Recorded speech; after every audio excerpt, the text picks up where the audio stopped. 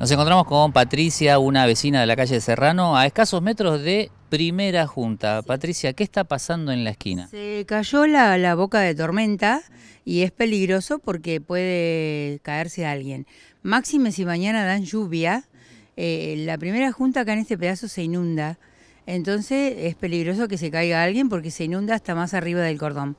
Así que si lo pueden venir a arreglar y a ordenar, mejor todavía. Estamos viendo que no está señalizado. Alguien puso un palo, pero debe ser algún vecino. Pero lo sacan. Son los vecinos que ponen cosas para señalizar, pero no, no, no lo vienen a arreglar. Para es una esquina muy transitada, ¿no? Transitada y una esquina muy importante. Acá pegan la vuelta todos los coches que van para el lado de San Miguel, porque Serrano es mano para San Miguel, como eh, Muñoz es mano para José Paz. Acá la mayoría dobla y es peligroso la esquina ve eso, piensa en una persona, un adulto mayor, eh, un chico, una mascotita. Una mascota, tal cual, sí, sí, tal cual, sí. ¿Hicieron alguna denuncia los vecinos? ¿Ustedes se pusieron de acuerdo? No les sé decir, sé que todos dijimos que había que arreglarlo, pero no sé si alguien hizo denuncia, no.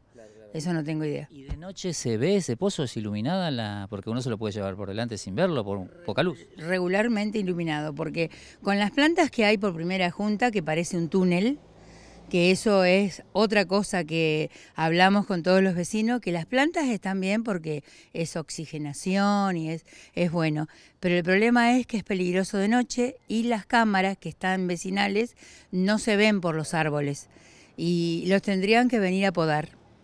¿Alguna, ¿Alguna escuela cerca donde pasen chicos por acá también? No hay una escuela cerca, pero está el Club Belgrano, que está ahí en la esquina de Primera Junta y, y Santiago de Estero es la calle, y van muchos chicos que van a fútbol, que van a gimnasia. Cristina, por último, me dijo de la oscuridad, ¿eso eh, hace que haya habido algún eh, hecho de inseguridad? Sí. a mí inclusive me quisieron robar el, el manijón de acá y a mi hijo enfrente también, pero no lo pudieron robar. ¿Pasan los patrulleros por acá? Pasan, sí, pasan. Muy de vez en cuando, pero pasan.